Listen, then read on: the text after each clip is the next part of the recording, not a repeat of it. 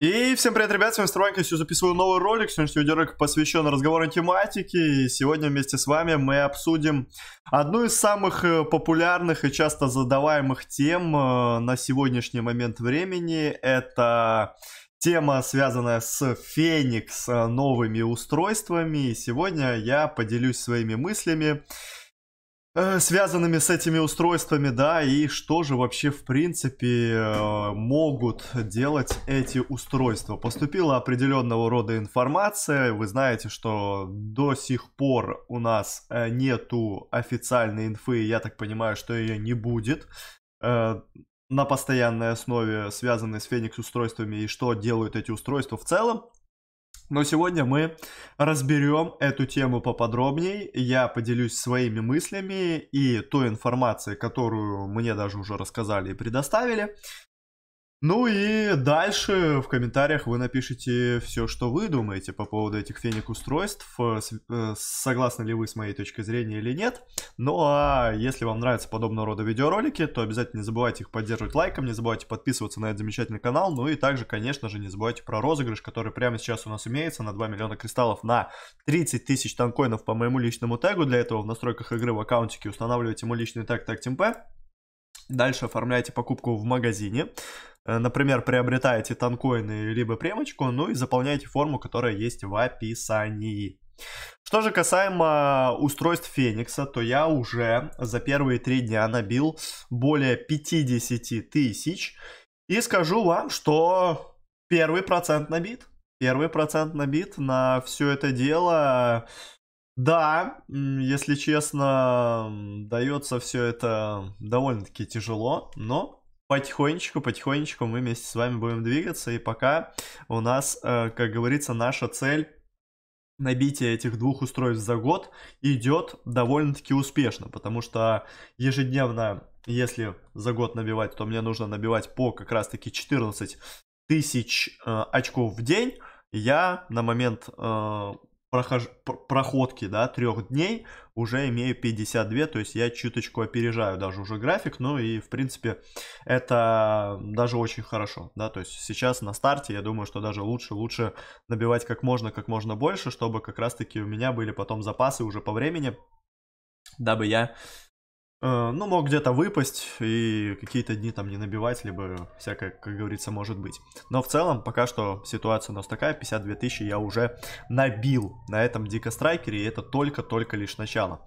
Что же касаемо устройств на Дикострайкера, если с корпусом э, все более-менее понятно и ясно, и можно смело предположить, э, что это за устройство на корпус, то что касаемо пушки, то там есть, конечно, на разные версии, которые посещают мою голову, и что там может быть внутри. Что касаемо корпуса диктатор, то э, с очень большой долей вероятностью, я лично сам изначально предполагал, о том, что это может быть иммунитет от всех статус-эффектов, да, то есть на корпус, и, в принципе, за такую огромнейшую цель, да, в виде 5 миллионов очков, это очень и очень была бы достойная награда для всех тех ребят, которые эту цель выполнят. Ну и, э, как оказалось, э, был игрок, который как раз-таки встречал Ореха с этим устройством в бою и менял э, даже статус-эффектные устройства и при этом не мог нанести статус-эффект Ореху под этим Фениксом. Соответственно, с очень и очень большой долей вероятностью ну, понятное дело, что не 100%, потому что я не лично сам это проверял, да, это исходя из того, что мне сказали, да, то есть поэтому не со стопроцентной, но с очень большой долей вероятностью именно на диктатор здесь иммунитет от всех статус-эффектов, что выглядит очень и очень неплохо, если учитывать тот факт, что иммунка в принципе работает эффективно, да, и в моменте у меня бывает такая ситуация, что мне хочется одеть два иммунитета, то здесь за 5 миллионов э, иммунитет от всех статус-эффектов выглядит очень и очень достойно. Что же касаемо пушки, да, что же касаемо с трайкера. Здесь есть э, много всяких версий, интересных версий, да, которые э, посещали и мою голову, и ребята, когда мы обсуждали эту тему, на как раз-таки стриме. Здесь может быть и дистанционный подрыв э, с всеми статус-эффектами, да. Здесь может быть э, какое-то новое абсолютно устройство с э, дополнительным повышенным уроном. Может быть стандартный дефолтный страйкер с просто повышенным дополнительным уроном. Э, может быть страйкер с повышенными всеми абсолютно характеристиками, да. То есть здесь, в принципе, можно фантазировать очень и очень много, но я больше, наверное, конечно, склоняюсь к тому, что здесь будет просто страйкер с э, дефолтной э, настройкой, но все эти дефолтные настройки будут в разы, в разы сильнее. Может быть, просто от дефолтного МК8 страйкера страйкер будет, например, ну вот в полтора раза, например, сильнее, да, то есть и по урону, и по быстроте накидки урона, да, то есть, и, то есть у него и полет будет быстрее, и сила удара, то есть и все будет, да, то есть в полтора раза, например, будет сильнее, я бы сказал, что это было бы очень и очень достойное устройство, да, которое бы имело смысловой, э, ну, смысловую вообще целостность, я бы сказал, наверное, так, да, потому что все-таки если учитывать тот факт, что это устройства, которые набиваются крайне-крайне сложно, да, и здесь э, видеть, э, наверное, какие-то недостойные вещи будет очень и очень грустно, да, очень и очень грустно.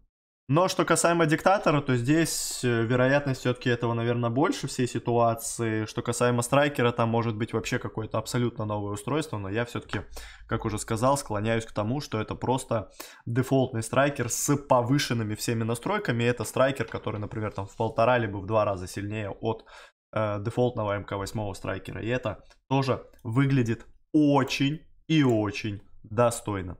Ну а мы вместе с вами до сих пор, и я думаю, что до получения первых устройств не узнаем, да, потому что вряд ли кто-то будет раскрывать нам секреты именно в этом, наверное, и есть вся фишка этих замечательных устройств, что вы набиваете э, ну, грубо кота в мешке, да, вы не знаете, что вы бьете. Вы бьете что-то достойное, либо вы бьете наоборот какую-то вещь, которая, ну, абсолютно, наверное, будет, например, неинтересна вам, да. Но, с другой стороны, я при любом раскладе набиваю эти очки на одном из самых, если не самом любимом моем вооружении, и поэтому я в целом, ну, ни в чем себе абсолютно не отказываю, считаю, что это то вооружение, которое для меня лично приносит безумно большое количество позитивных эмоций, а еще, когда есть определенная цель, набитие 5 миллионов очков, это придает даже какой-то дополнительной мотивации, и когда у тебя уже все цели поставлены, ты только бьешь, бьешь и еще раз бьешь. Поэтому пишите, что вы думаете по этим устройствам. Э, обязательно напишите в комментариях, э, согласны вы с моей точкой зрения, да, с моими предположениями. Быть может, у вас есть какие-то свои мысли по этому поводу. Если они есть, то обязательно напишите. Будет очень интересно посчит... Э, почитать, какие в вашей голове могут быть устройства на Феникс, вот эти вот замечательные корпуса и пушки. Обязательно поддержите данный видос лайком, если вам понравился. Подписывайтесь на канал, если вы еще вдруг не подписаны. Нажимайте на колокольчик, дабы не пропускать новые видеоролики. Ну, у меня, друзья, на этом все.